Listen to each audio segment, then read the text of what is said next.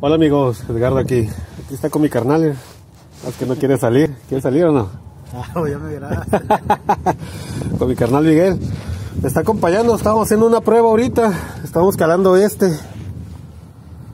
Este líquido para limpiar todo el sistema de, de combustión, los pistones, válvulas, inyectores, rieles, todo.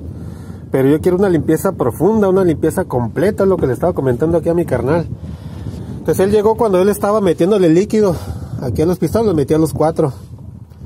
Entonces le digo, ¿sabes qué? Lo dejé un poquito, puse la bujía y luego eh, lo dejé un ratito, como algunos 3, 4 minutos y luego lo prendí.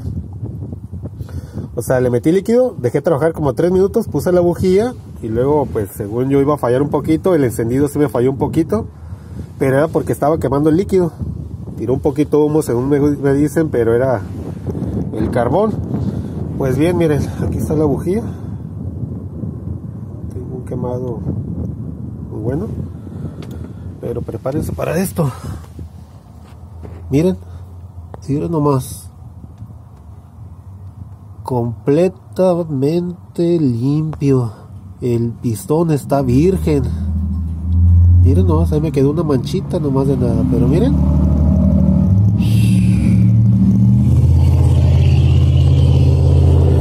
los cuatro están iguales.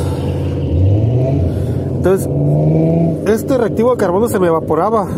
Lo que hice fue meterle un pequeño lubricante para restarle, que no se me fuera, que no se hiciera tan volátil. Y eso fue lo que me ayudó a conservarlo, a mantenerlo. Ahí está el resultado. Híjole, fregosísimo. Ya se está despidiendo. Bueno, pues aquí me despido también. Jaló. Ahora lo voy a meter a un, motor GDI. Este es un full injection. Voy ahora con el GDI. Vamos a ver qué pasa. Nos vemos.